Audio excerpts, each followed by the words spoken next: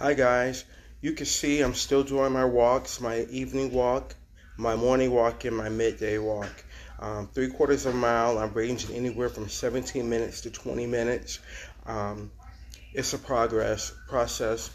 Um, lately, I've been experiencing a lot of low energy, a lot of um, a lot of pains in the joints and stuff.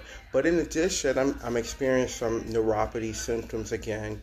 You know, um, little weakness in the ner- in, in, the little weakness in the nerves, a little um, pins and needles and numbness and tingling, all the classic neuropathy system, sy- symptoms that kind of escalating la- lately, possibly because I've added the midday walk. So I'm really texting my texting my body, and so uh, maybe it's an adjustment I have to get through.